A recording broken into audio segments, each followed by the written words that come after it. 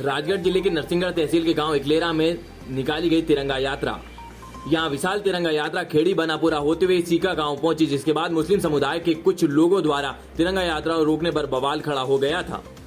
Caeca मुस्लिम बहुल इलाका है, जहाँ पर मस्जिद के सामने से निकालने पर तिरंगा यात्रा को रोका गया था। उनका कहना था कि डीजे नहीं बजेगा और ना ही जयकारे की आवाज़ होगी। चुपचाप निकल जाओ, तिरंगा यात्रा रोके जाने से नाराज़ कार्यकर्ताओं ने क्लेरा पहुंचकर चौकी के सामने दो घंटे तक चक्का जाम किया।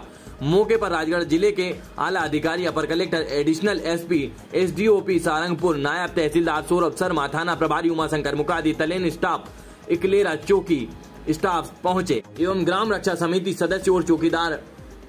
जाकर भारी पुलिस बल की मौजूदगी में पुनः तिरंगा यात्रा को जहाँ रोकी गई थी, वहाँ से पुनः प्रारंभ की गई। तथा प्रशासन का इसमें भरपूर सहयोग रहा आदर्श न्यूज़ मध्य प्रदेश के लिए राजगढ़ से पत्रकार संजय बना की रिपोर्ट। यात्रा निकाल रहे थे। इकलेरा।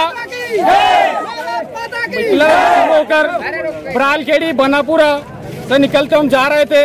पटेलपुर से हम निकल गए थे। जैसे यात्री हमारे तिरकीपुरा पहुँची वहाँ पे मुस्लिम धर्म के लोगों ने हमसे नारे नगलने के बंद किए। हमारा डीजे बंद करवाए जबकि डीजे पे सिर्फ़ राष्ट्रभक्ति के नारे गाने चल रहे थे। हमारे द्वारा भी सिर्फ़ राष्ट्रभक्ति के नारे लगाए जा रहे थे।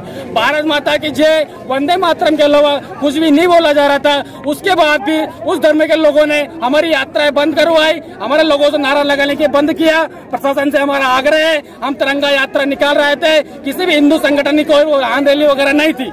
हमारी यात्रा दोबारा दोबारा यात्रा जय। श्री राम। अभी आप पुलिस प्रशासन ने क्या बोला?